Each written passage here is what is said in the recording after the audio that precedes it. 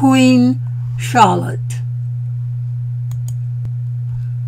With features as conspicuously Negroid as they were reputed to be by her contemporaries, it is no wonder that the black community, both in the U.S. and throughout the British Commonwealth, have rallied around pictures of Queen Charlotte for generations.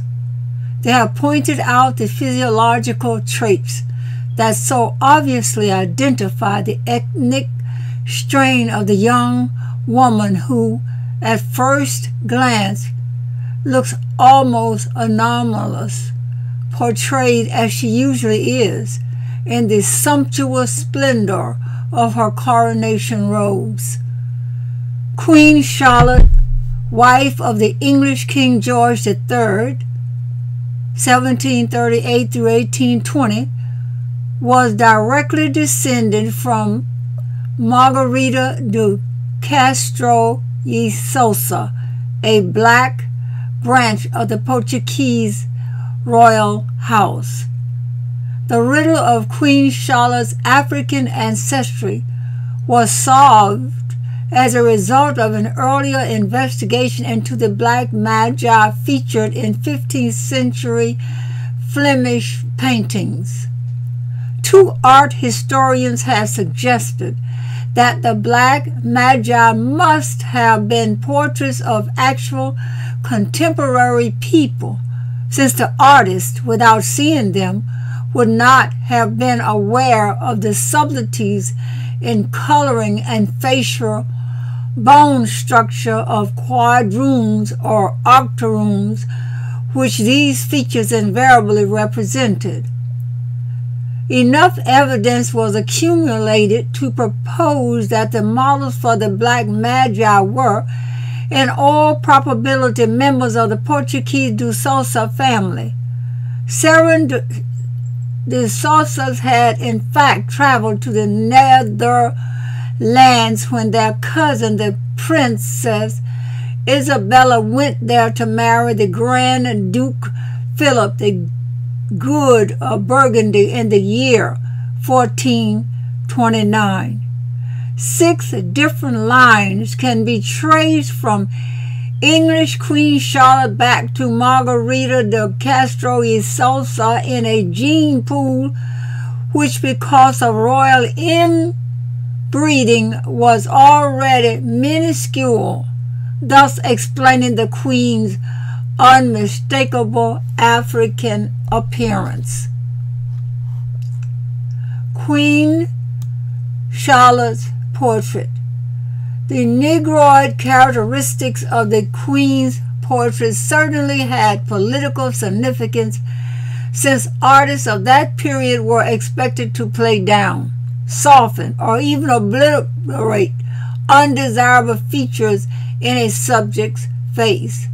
Sir Allan Ramsay was the artist responsible for the majority of the paintings of the Queen and his representations of her were the most decidedly African of all her portraits.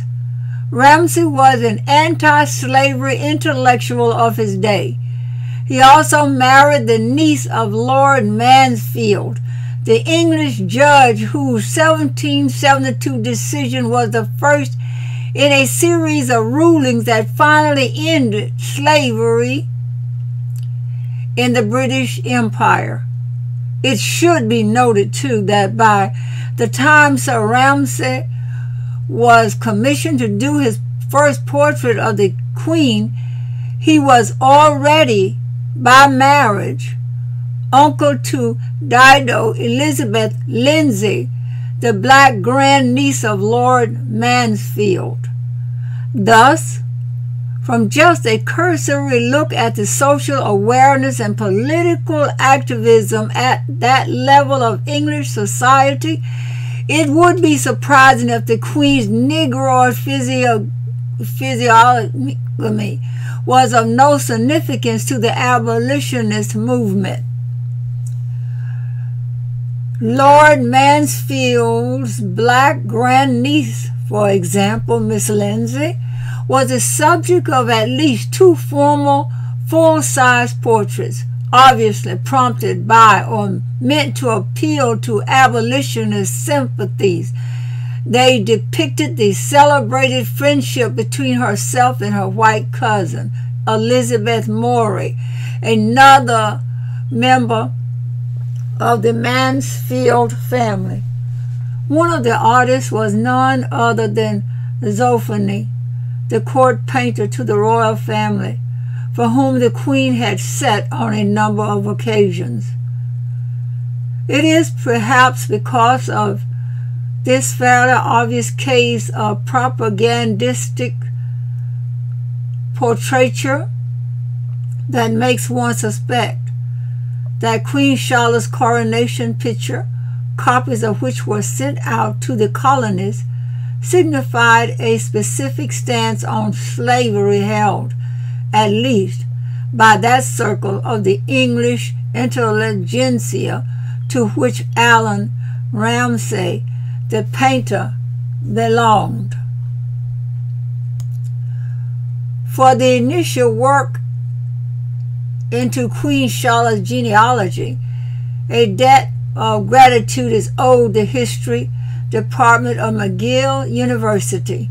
It was the director of the Burney Project, Fanny Burney, the prolific 19th century British diarist, had been secretary to the Queen.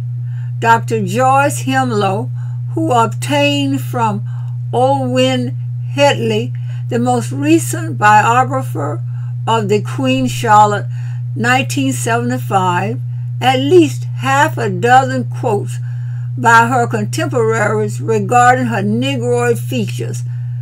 Because of its scientific source, the most valuable of Dr. Hedley's references would probably be the one published in the autobiography of the Queen's personal physician, Baron Stockmar, where he described her as having a true mulatto face. Perhaps the most literary of these allusions to her African appearance, however, can be found in a poem penned to her on the occasion of her wedding to George III and the coronation celebration that immediately followed. Descended from the warlike Vandal race, she still preserved that title in her face. Though shown their triumphs over Numidia's plan, plain, and Andalusian fields their name retained. They but subdued the southern world with arms. She conquers still with her triumphant charms. Oh, born for rule, to whose victorious brow the greatest monarch of the North must bow. Finally, it should be noted that the royal household itself, at the time of Queen Elizabeth II's coronation, referred to both her Asian and African bloodlines in an apologia it published defending her position as head of the Commonwealth.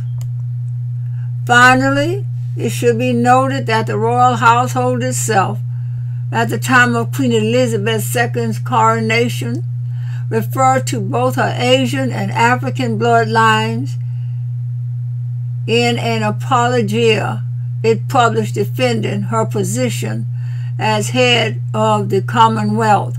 I repeated um, that line a second time for emphasis. More about research into the Black Magi.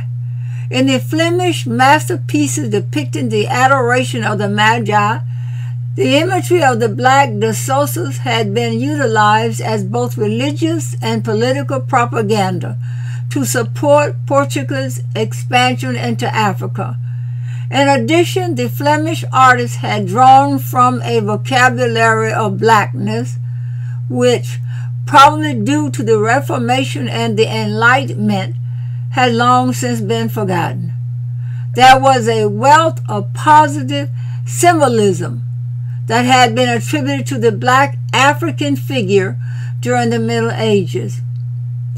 Incredible as it would seem to us today, such images had been used to represent not only Our Lady, evidence of which can be found in the cult of the Black Madonna that once proliferated in Europe, but in heralded traditions, the Savior and God the Father Himself.